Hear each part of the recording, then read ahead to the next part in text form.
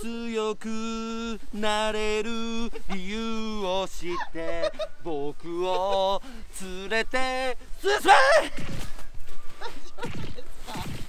大丈夫ですか？カッチューブ始まります。キモいっていうやじが入ってるんですけど。今日のうんお題は？うん。今日はですねなんとみんなの気にする内藤を直す。どうですか？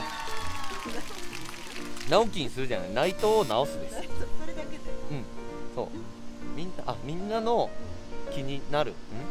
みんなが気になる。何でもいい。何でもいいや。内藤直し編。なお内藤直直直し編。はい。内藤直樹です。すごくスキーの中でうん。一番と言っていいほど大切なとこですね、超大事。けど内藤直すのもいっぱい種類あるんでその中でやっぱ初めにやらなきゃいけない部分っていうのは外に乗るのがすごい大事になるんで今日は外に乗る練習をしていこうと思います。はよろしくお願いします。いはい。じゃあ行ってみましょう。行きましょう。今日はですね、はい。内藤を直すためのまあエクササイズを中心に、えーやっていきたいと思いますがはい。内藤を直すために重要なのがはい。外足に乗るっていうのがスキーの中ですごく重要になってきます。はい。なので外足に乗る方法、えー外足に乗りやすいポジションっていうのを知るためのちょっとエクササイズを今回のカッチューブではやっていきたいと思います。はい。よろしくお願いします。よろしくお願いします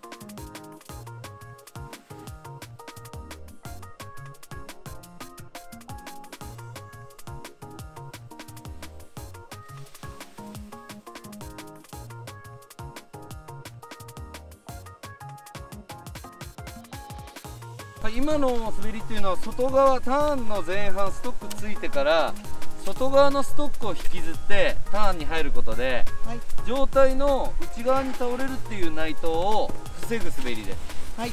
これなかなか面を返すのが難しい動きにはなるんですが、はい。重心が、まあ、スタンス内ですね。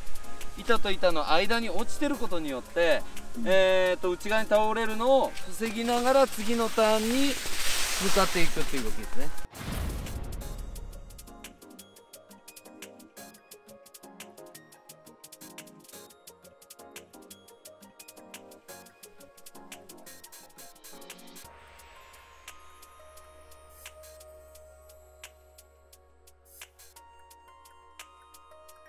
暴言で外側の、えー、とスキーの横ちょうどブーツの横ぐらいかなにストック引きずることによって、えー、とこれも体の、えー内頭を防ぐ動きになります。パラレルスタンスよりも次のターンに入るのが簡単になりますんで暴言の方が、えー、とポジションの確認としてはすごく、えー感じやすいと思います。はい。暴言の状態低速の状態で外に乗る感覚外スキーに近づく感覚で、えー、と内藤を防いでいきましょう。はい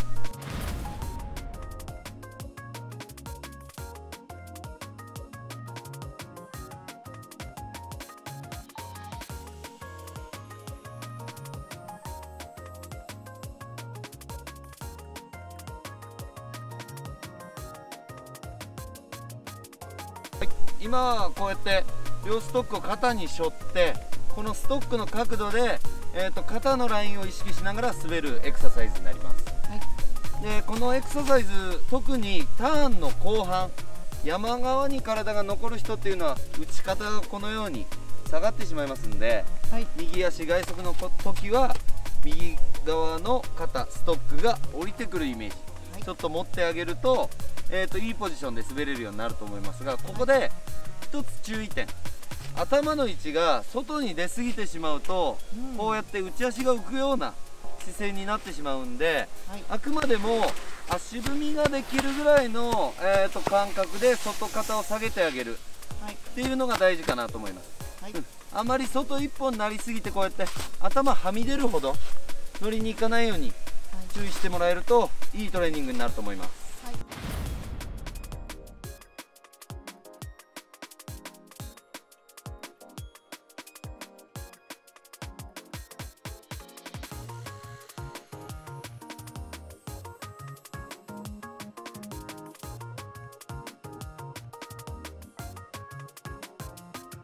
このエクササイズはですね、えー外暴言の状態で外足に乗る。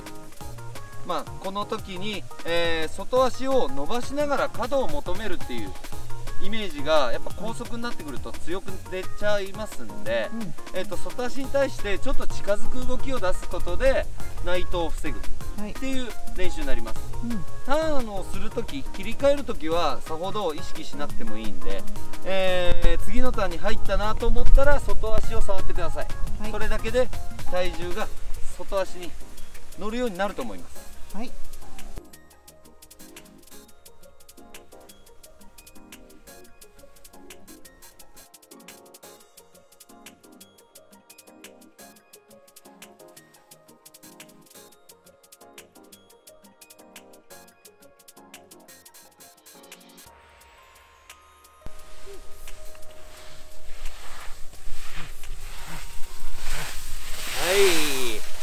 はい。はいお疲れ様でした。ありがとうございました。ありがとうございます。今日は内藤編ですね。はい。えー、まあ内藤まあ一概に内藤って言ってもいろんな種類の内藤あるんで、一気に全部直すっていうのは、まあ、運がいい人は一気に治るかもしれないんですけど、えー、となかなか一撃で治ることはないんで、うんですか？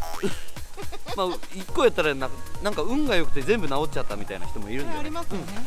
うん。なんで、まあ、自分のなんだろう、えー、と欠点、まあ、内藤する人だったら、まあ、内足にすごい体重が乗りやすいとか内側に倒れすぎやすいっていうのがありますんで、まあ、外足ちょっと使えるようになってくると板がたわんで戻ってくるっていう動きが、えーできるようになると思います。